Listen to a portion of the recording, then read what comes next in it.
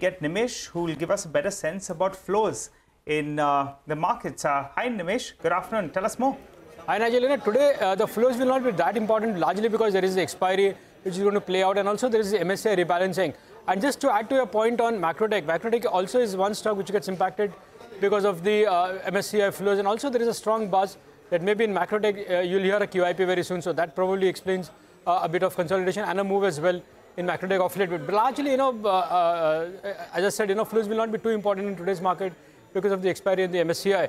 But I, I guess some signs of, you know, buying seems to be clearly back in the financial names. So uh, as intraday, we saw bit, almost 1% up move in the Nifty Bank. Uh, and, and, that's where some, some sort of buying seems to be emerging in the private bank stocks. That's overall from a flow perspective.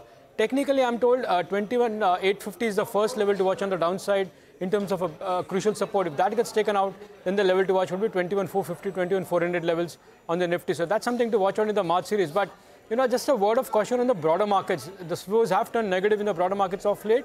But, uh, you know, historically, there, there is a bit of uh, pressure in the broader markets in the, in the March series. So that is a, that's where some bit of caution seems to be. So uh, the overall feedback is maybe the March series will be the series for the, for the large cap names. So that's something to track going forward. But I guess uh, today the flow, as I said, you know, would not be much important because of the expiry as well as the MSCI rebalancing. What about individual stocks, Nimesh? What are you looking at?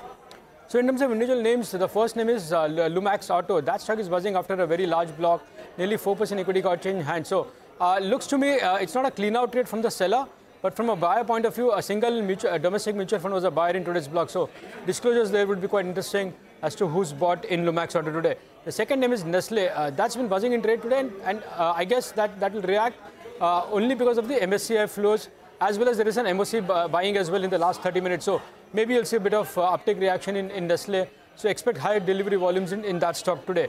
The third name is JSPL. Within the metal names, this is one stock which is well bid by large institutions. So again, uh, JSPL is buzzing on, on strong buy flows. So expect even there uh, good, good, good delivery, uh, delivery based volumes.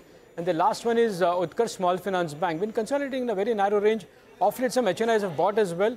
But now I understand there's going to be a very large block deal in Utkarsh Small Finance very soon. So that's something to track going forward in Utkarsh. All right. Thanks a lot for that. Well, Mitesh Thakkar is joining in now to tell you what to